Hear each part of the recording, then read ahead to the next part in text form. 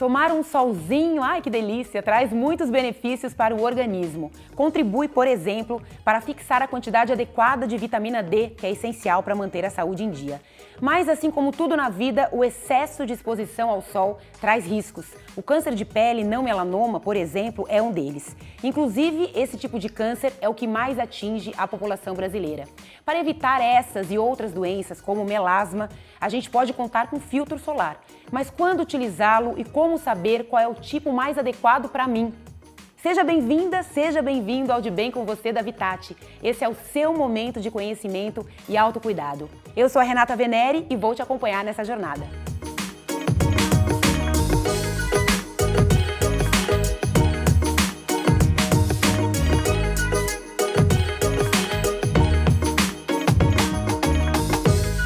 Falar sobre a importância do sol maravilhoso na nossa vida, na nossa pele e os cuidados, claro, inerentes ali a essa exposição, a minha convidada é a dermatologista Paula Ferreira. Doutora Paula, tudo bem? Tudo ótimo, Renata. Obrigada pelo convite. É um Obrigada prazer estar aqui. Bom demais estar aqui com você. Bom, já vamos começar explicando a importância do sol. Primeiro, só os benefícios dele. Depois a gente vai é, calculando aí o que pode e o que não pode. Tá joia, Renata. O sol, a gente sabe que ele é essencial para produzir vitamina D e também ele modula o nosso humor. Agora, outros benefícios, eles ainda estão sendo estudados. Joia? Então, aqui no Brasil, em relação ao humor, a gente não sente muito, porque a gente tem um sol constante o ano todo, né? Em relação à vitamina D, sim. Só que não tem nível seguro de exposição para a produção de vitamina D. Então, em alguns casos, a gente tem que acabar indicando mesmo a suplementação oral, que é o que é feito na maior parte do mundo, principalmente naquela parte do mundo onde você não tem uma incidência de sol tão alta ao longo de todo o ano. É, e a pandemia, eu acho que ela trouxe também essa coisa da clausura, né? Todo mundo ali em casa uh, não podia sair, ficou muito mais uh, longe do sol, né? Mas imaginando agora um cenário um pouco melhor.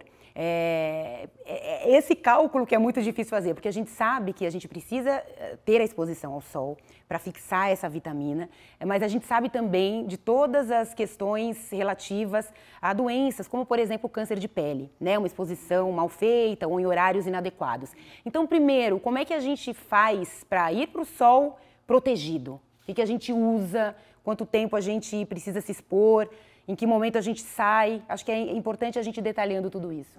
Perfeito, Renata. Em relação às recomendações né, da Sociedade Brasileira de Dermatologia, é como eu te disse, como a gente aqui no Brasil está exposto a muito sol ao longo de toda a vida, não há uma recomendação de horário, de tempo que você deve tomar de sol uh, para a questão da vitamina D. Existem algumas populações que têm risco de ter insuficiência de vitamina D. Por exemplo, idosos, obesos, gestantes, bebês lactentes, né, aqueles que estão amamentando. Nesse caso, o recomendado é realmente fazer uma suplementação oral de vitamina D, né? Tomar ou em alimentos ou medicamento mesmo. É, e como que a gente deve se proteger, então, quando for se expor ao sol? Se a gente for se expor ao sol diretamente ou indiretamente, o que, que é indiretamente? é, quando você está próximo a janelas ou quando você está na sombra, mas você está numa superfície que pode refletir a radiação solar. Né? Então, em areia ou asfalto. Nessas situações, a gente deve sempre usar proteção solar. E aí a proteção vai envolver o protetor solar, que é um creme, né, uma coisa tópica que você vai aplicar, e roupas e buscar sombra, dependendo do índice aí de radiação ultravioleta. A gente já vai entrar nessa parte até mais tecnológica, enfim, também do protetor solar, das roupas, é, mas ainda pensando uh, nessa suplementação, né, a que, a que você se refere. Existem exames para detectar se você tem uma insuficiência, né? Então isso é importante as pessoas saberem, certo? Exato, Renata. E aí, claro, você tem que ver com o seu médico de confiança quando você deve é, realizar esse exame, que ele não é indicado para todo mundo, uhum. apesar de agora estar muito popular, quase todo mundo fazer. É, a gente sabe que ele é indicado para algumas populações, como eu disse, para gestantes, para obesos, para idosos, né? principalmente mulheres depois da menopausa, que tem muito risco de osteoporose. E se você é uma pessoa que não se expõe nunca ao sol, ou se mora num país que não tem exposição solar, ou é um trabalhador noturno, por exemplo, Nessas situações específicas, aí você tem a indicação de solicitar a dosagem de vitamina D. Uhum. Eu estou pensando na pessoa chegando, prateleiras lotadas né, de protetores, como é que a gente escolhe? Cada pele é uma pele, cada pessoa tem ali um histórico, né, e tem as suas particularidades. Por onde começar? Perfeito. No Brasil, a gente sabe que a gente tem uma heterogeneidade aí da população, né, uma miscigenação vários tipos de pele e também tem vários Brasis, geograficamente falando, né? Quando a gente fala sobre o sol, que é diferente no litoral ou numa região do interior. Então, por conta disso, para facilitar a vida de todo mundo, a Sociedade Brasileira de Dermatologia também fez uma recomendação geral de que a fotoproteção diária ela tem que ter o FPS, que é aquele fator de proteção solar mínimo de 30. Isso aí abrangeria praticamente toda a nossa população em todo o território brasileiro. Claro que a gente também tem as suas particularidades, dependendo se você é muito, muito clarinho ou se você já tem uma pele um pouco mais morena. Mas assim, o, F, o FPS de 30, o fator de proteção de 30, ele vai abranger a maior parte da nossa população. Isso daí é a primeira coisa que a gente tem que olhar quando vai escolher o protetor solar na bancada da, da, da drogaria. Outras coisas que a gente pode olhar é pensando aí especificamente ou em doenças que uma pessoa possa ter, por exemplo, manchas, melasma, uh, rosácea, coisas que você pode querer também acrescentar uma foto, uma, um protetor físico, né, com cor. Ou, por exemplo, o seu tipo de pele, se for oleoso, aí você vai buscar também um protetor oil free. Então, são várias particularidades dependendo do seu tipo de pele e se tem uma patologia envolvida. E também do estilo de vida. Se é uma pessoa que pratica corrida e vai ter que buscar um, um protetor que tenha uma aderência melhor, né, com sudorese, entre outros. Uhum. Então tem é, o fator de proteção, então tem esse mínimo de 30. Muitas vezes as pessoas acham que é, quanto mais clara a pele, maior tem que ser o fator de proteção. É por aí mesmo? De fato, é por aí. Quanto mais clara é que aqui, como eu disse, aqui no Brasil a gente é muito miscigenada. É muito difícil uma pessoa ser muito clarinha, ter o fototipo 1. O que é fototipo 1? É uma classificação onde a pessoa, onde a gente vê capacidade de queimadura solar e capacidade de bronzeamento solar. Então, fototipo 1 é aquela pessoa que nunca bronzeia e que sempre se queima. Isso é independente da cor que ela apresenta naquele momento.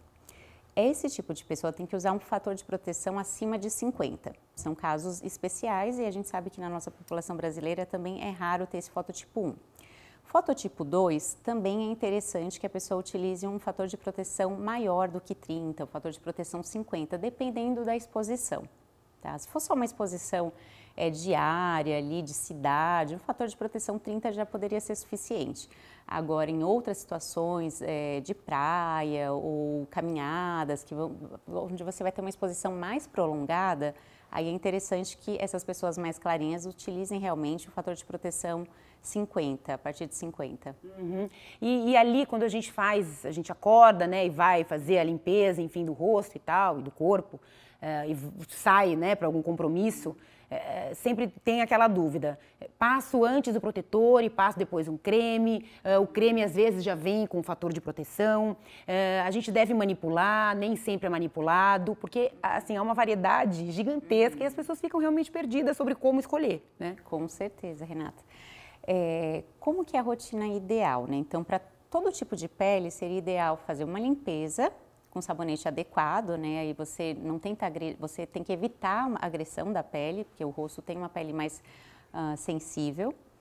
Hidratação, então você faz a limpeza, em seguida vem a hidratação e alguns minutos depois, dependendo da absorção aí do hidratante, que pode ser quase que imediato se for um hidratante mais leve, ou depois de cerca de 5, 10 minutos se for um hidratante mais pesado, você aplica o protetor solar.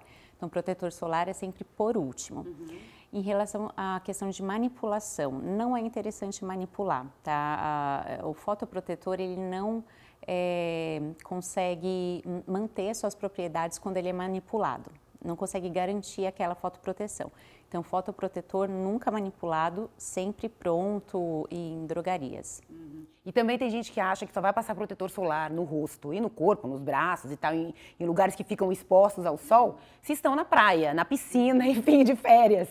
E a gente está aí, né, em um momento ou outro a gente tem férias, né, mas a gente está na labuta na maior parte do tempo.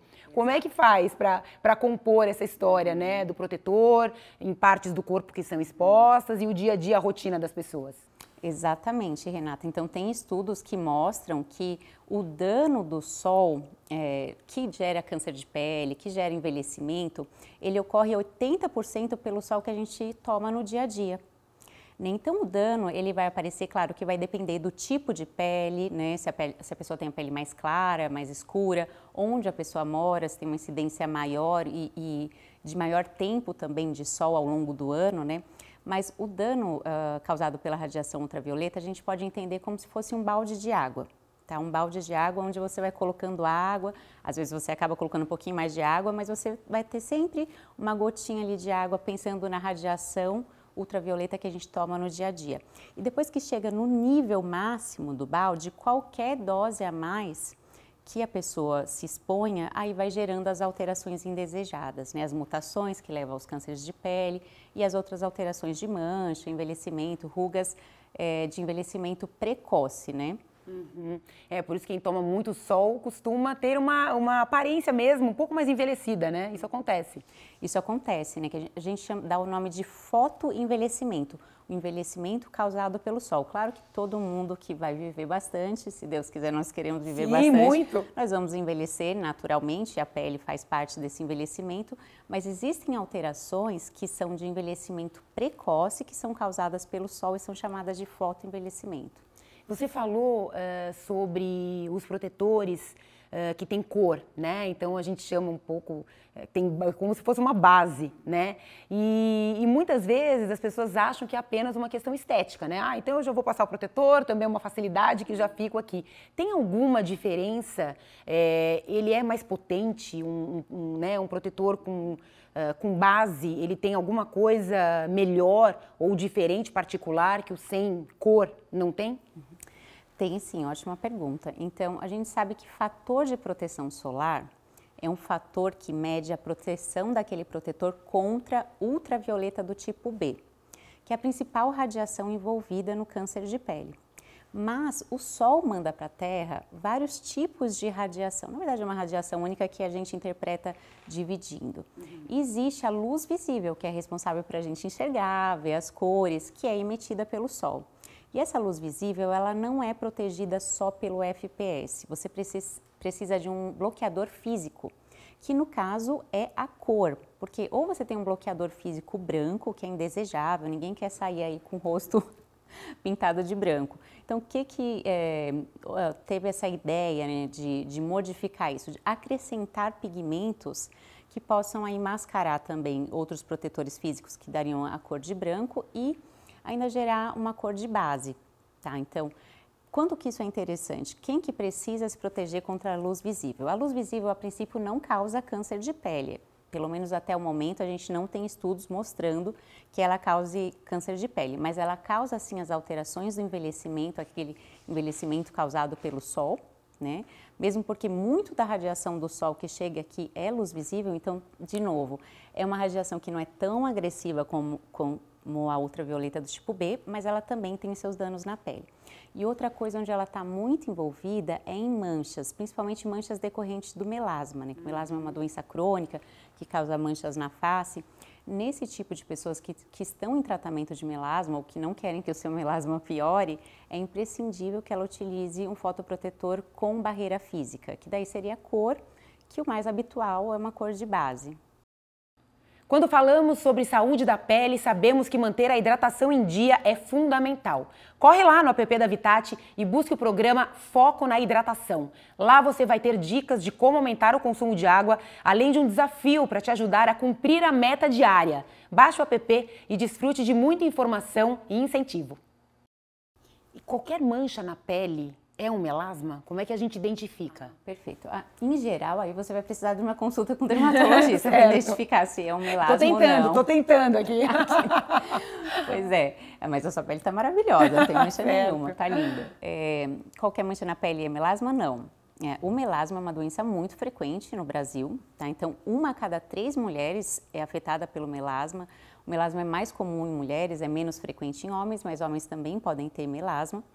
E como que ele se manifesta? Né? Com manchas que são marrons até enegrecidas, então elas são bem visíveis, em geral de maneira simétrica, nessa região aqui da bochecha, região malar, ou na região da fronte, ou em cima do, da região labial, às vezes até parece um bigodinho, tem muita gente que fala, nossa, apareceu, parece um bigode, mas não tem pelo, isso daí muitas vezes é o melasma, no nariz, no mento, então várias áreas do rosto ela pode surgir, Uhum. E ela é decorrente de fatores genéticos, exposição solar e também fatores hormonais. Tem muitos fatores hormonais envolvidos, tanto que gestantes é, são uma das principais a manifestarem o melasma. Tá?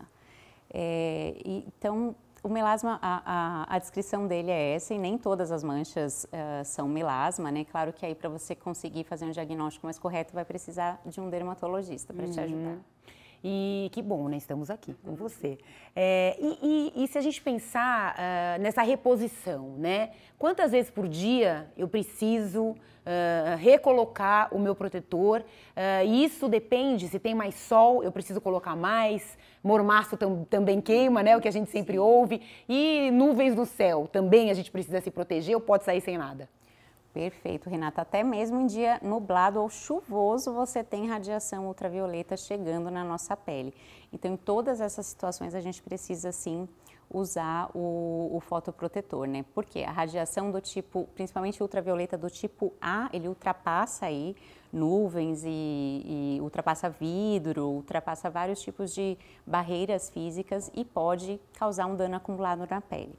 Então, quantas vezes reaplicar? É muito importante, isso é muito interessante, porque normalmente eu pergunto para o paciente no consultório, ah, você usa protetor solar? Sim, na minha rotina eu de manhã lavo, hidrato, passo protetor e aí eu fico assim o dia todo. Bem, chega na hora do almoço, o seu protetor já não está mais funcionando nada né? porque o protetor ele tem um tempo de, de otimização aí da, da sua proteção, que é mais ou menos de 3, no máximo 4 horas, se a pessoa não transpirou, se o dia não é muito quente, né? então se, num dia muito quente você transpira mais.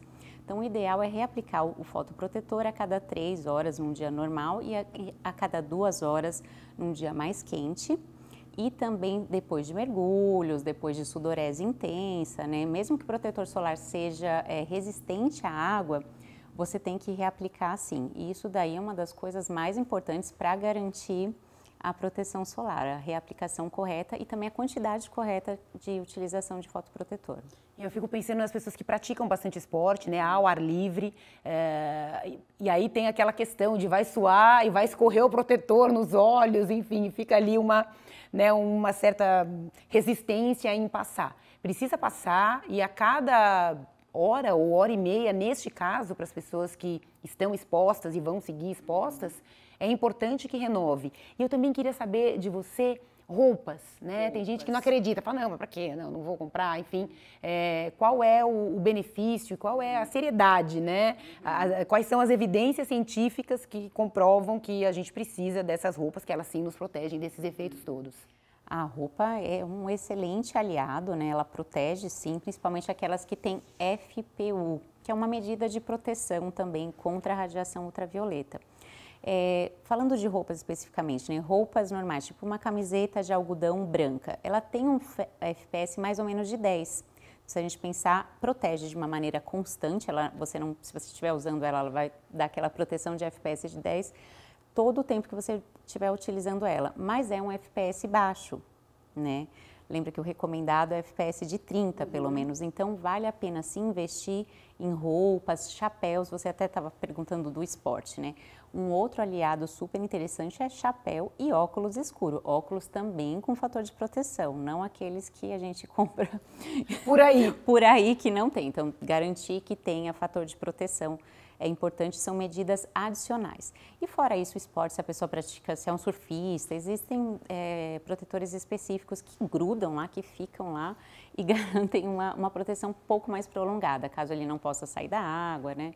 Mas o ideal seria reaplicar mesmo. Transpirou, reaplica o, ou mergulhou, reaplica o, o, protetor solar. E aquela história de mergulhou, saiu da água, está molhada e passa o protetor. Espera um pouquinho, espera secar para passar o protetor, ele absorve melhor, ele vai escorrer, não vai absorver nada. Tem isso também? Vai, é, tá certa. Você vai alterar as propriedades físico-químicas ali do protetor se você misturar com a água do mar. Então, o ideal é passar uma toalha ou esperar secar e aplicar por cima, uhum. depois quando a pele estiver seca. E aí eu estava pensando no chapéu, né? Então, boné, viseira, tem muita gente que, que sai de viseira. É até um estilinho, né? Bacana, fica a viseira ali, mas a viseira não protege o couro cabeludo, né? É, e não existem protetores específicos para o couro cabeludo, né? Você tem que ficar passando ali, é meio esquisito, né? Praticamente não existem, mas assim, o cabelo, o nosso cabelo, ele, ele é um protetor. Né? Então, ele nos protege contra a radiação ultravioleta no couro cabeludo. Claro, quem tem o cabelo um pouquinho mais ralo, aí você pode ou lançar mão de um fotoprotetor mais líquido, uma loção mais fluida, ou o boné, que é o maior aliado, né? Chapéu, boné é mais fácil de você garantir, principalmente se for homens calvos, o mais porque os homens calvos também transpiram muito, né? Então, é difícil mesmo um, protetor que fique ali na região. O ideal seria utilizar não viseira, mas sim bonés ou chapéus. Uhum. É, e a gente sempre aqui cai na história de hábitos saudáveis, né? Sempre. É, alimentação, ela pode, hidratação principalmente, isso tudo pode uh, ajudar na prevenção de doenças, no tratamento de, de, questões de pele, retardar alguns efeitos do sol. Ela, ela mexe com tudo isso também? Com certeza. Agora, quando a gente vai falar sobre estudos, é mais difícil de, de você comprovar determinada alimentação com determinado benefício.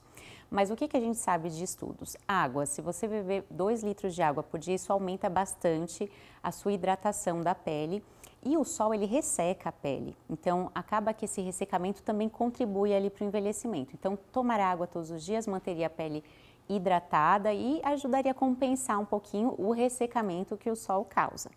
Agora, outros alimentos, a gente sabe de benefícios, por exemplo, do beta-caroteno, né, que é um tipo de, de antioxidante que tem muito em cenouras, em beterraba, mamão.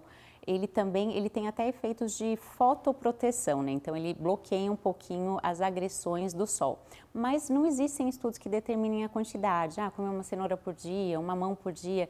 Então, o que a gente sabe é que é sim importante você incluir na sua dieta alimentos frescos, né, vegetais, frutas que têm antioxidantes, mas a gente não sabe a dose certa. O ideal seria ter um equilíbrio, ter uma alimentação balanceada e tomar muita água. Eu acho que as pessoas ficam sempre pensando, né? E, e, e sempre quando é mais sério, mais grave, né? Então, um câncer de pele, é, as pessoas acabam prestando mais atenção, né? Ficando mais atentas. Uh, o câncer de pele, ele pode ser genético e também tem muito a ver com fatores ambientais, né? É, explica pra gente de que forma essa prevenção toda, que a gente já se referiu aqui, ela é importante para evitar o câncer de pele. Perfeito, Renata. Então, é uma fração muito pequena de câncer de pele que tem aí uh, uma, uma determinação genética.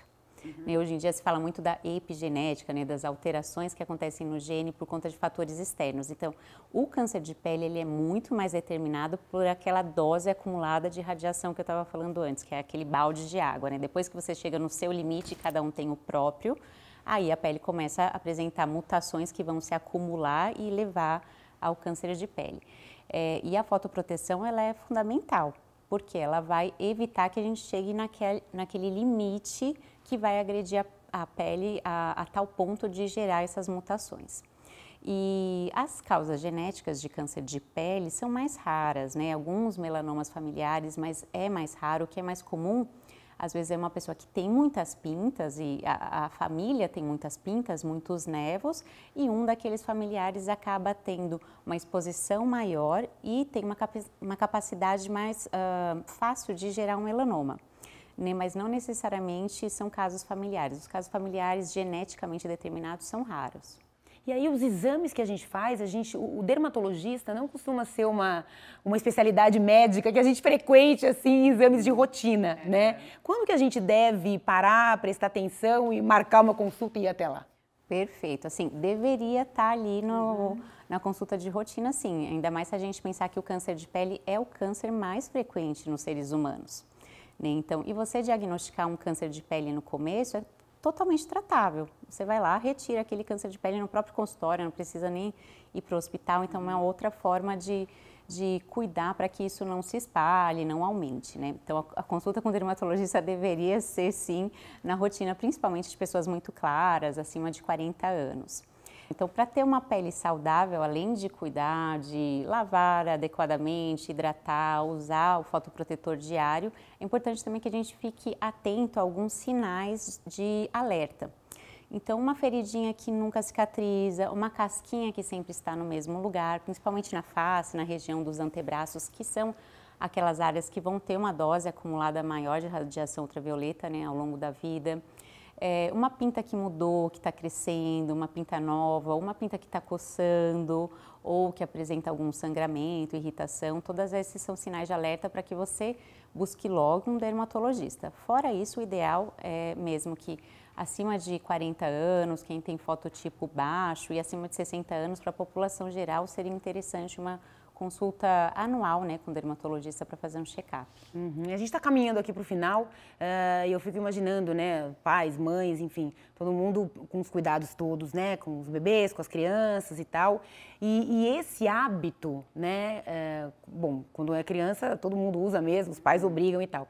Mas esse hábito, explicar do que se trata, a educação né, nessa, né, é, nessa história da saúde, na saúde da pele, é fundamental para que siga, né?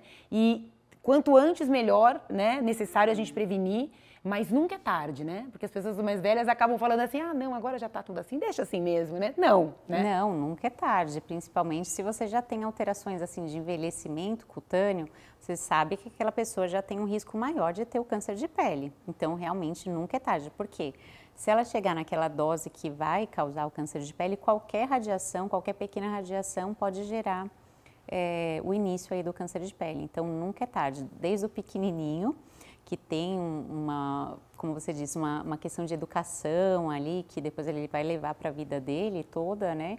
Quanto a pessoa que já tomou muito sol, ela também merece seus cuidados. Eu fico pensando nos jovens, nos adolescentes, né? Porque quando é criança, você taca lá o protetor e a criança fica quieta e não tem muito o que fazer. Mas depois vai crescendo e vai ficando mais indócil, né? Uhum.